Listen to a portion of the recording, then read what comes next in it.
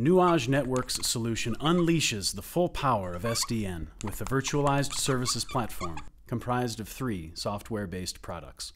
The Virtualized Services Directory contains policy templates to simplify deployments and manages cloud services.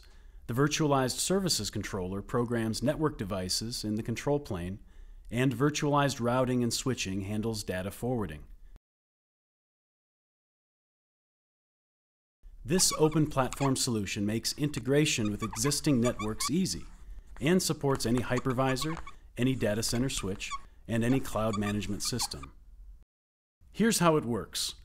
To deploy an application, cloud orchestration software instantiates a new virtual machine in the data center.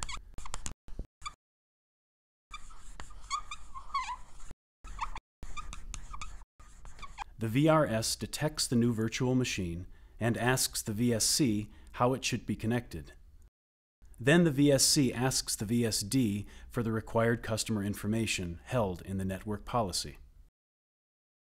Finally, the VSC automatically establishes the appropriate connections. This is how you can make your network as instantly consumable as the application and compute platform functions.